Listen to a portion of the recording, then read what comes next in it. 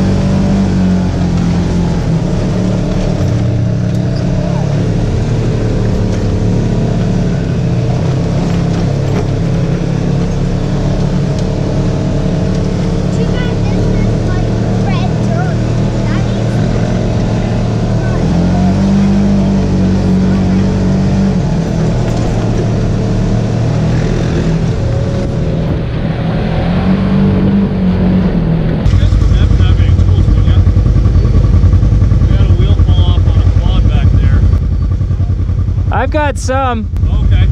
It's just uh, down, the, down the trail about a mile or so. I appreciate it. Thanks. Yep. A four wheeler lost its wheel back there, so he needed some tools to put it back on.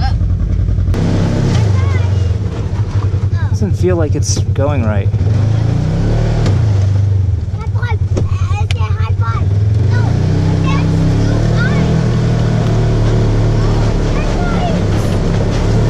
Feels fine now.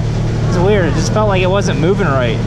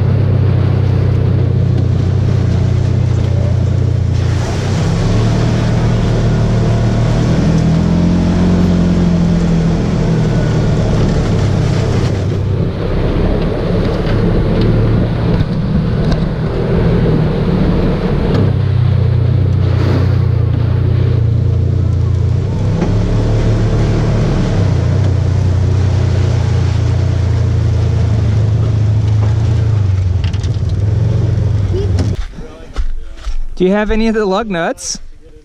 Unfortunately, no. We had no idea. I had no clue what was happening. Well, we could just take one off the other ones if yeah, that's what yeah, we think we take one off the beach. I have. Is are they 17? They look to be, I've got some lugs. too.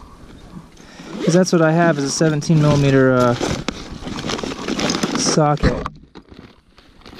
We've been driving back and forth trying to get tools, and we. Well, yeah, we got a we got a, a four way, Yeah. but it won't fit inside that. If you want to steal one off of each one, I can do that for you. Yeah, I think that's what we have to do. All right. Fit on there. Yeah. Being on a tilt. Oh well, I guess with that.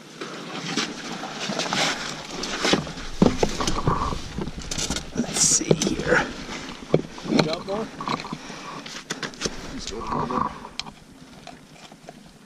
That could have been bad. Did you go over the handle? All right, that should be. Really. Yeah, no problem. Yeah, we thought we'd have to make another 15 mile ride back. But, Oh, that sucks. Yeah. of course, we got the. Thank you. Wish us luck.